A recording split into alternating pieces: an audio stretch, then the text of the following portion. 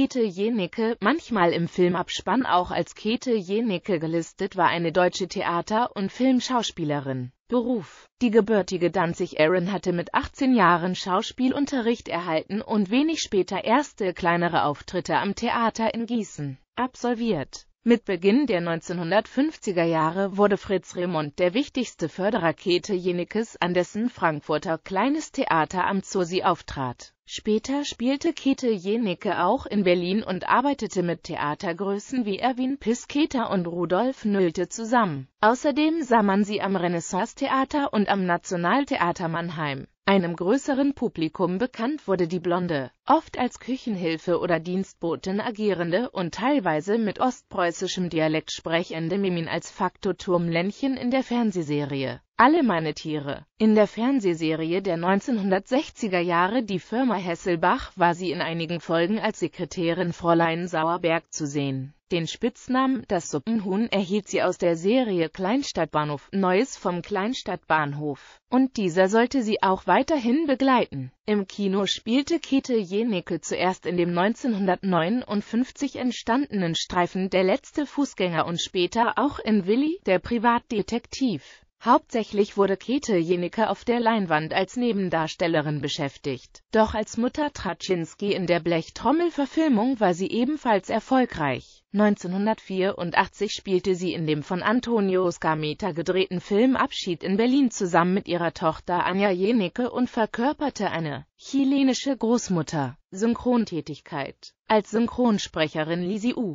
A. Carol Burnett, Glynis Jones, Elsa Lancaster, Angela Lansbury und Giulietta Massina ihre Stimme. Kinderbuchautorin Neben ihrer Schauspielkarriere verfasste Käthe Jenicke auch ein Kinderbuch der Roman schildert humorvoll die sozialen und kulturellen Unterschiede zwischen den Bewohnern eines Mietshauses. Dabei werden zeittypische Konflikte der bundesdeutschen Gesellschaft wie der Umgang mit Gastarbeitern oder langhaarigen Studenten beleuchtet. Privat Anja Jenicke, die Tochter der Schauspielerin, hat ebenfalls den Schauspielberuf ergriffen. Käthe Jenicke verbrachte ihren Lebensabend in einem Münchner Altersheim und verstarb dort am 1. November 2002 im Alter von 79 Jahren. Ihre letzte Ruhestätte befindet sich auf dem Münchener Ostfriedhof. Filme und TV-Auftritte 1959 Das blaue Meer und du. 1959 Der letzte Fußgänger. 1959 Marilie 1960 Willi, der Privatdetektiv 1960 Ich schwöre und gelobe. 1960 die Firma Hesselbach. 1961 Unser Haus in Kamerun. 1961 Davon träumen alle Mädchen. 1961 Heute gehen wir bummeln. 1962 Tunnel 28 1962 Alle meine Tiere 1965 Seraphin oder die wundersame Geschichte der Tante Flora 1965 zu 1966 Unser Pauker 1968 Das Kriminalmuseum Die Postanweisung 1970 Wir 2 1970 Das kann doch unseren Willi nicht erschüttern. 1970 Mord im Pfarrhaus 1971 Drüben bei Lehmanns 1971 Doppelgänger 1972 Kleinstadtbahnhof 1973. Neues vom Kleinstadtbahnhof. 1973 Lokaltermin. 1975 zu 1991 Derrick. 1978 Holocaust. Die Geschichte der Familie Weiß. 1979 Jauche und Levkojen 1979 Nachbarn und andere nette Menschen. 1979 Die Blechtrommel. 1980 Nirgendwo ist Pönichen 1980 Derrick. 1980 zu 1986 Der Alt. 1981 zu 1988 Polizeiinspektion 1 1982 Tatort Wat Recht ist Mut Recht blieben. 1984 Abschied in Berlin. 1986 Bittere Ernte 1988 Ein Fall für zwei, man lebt nur einmal. 1989 Gummibärchen küsst man nicht. 1989 zu 1990 Spreepiraten 1992 Die große Freiheit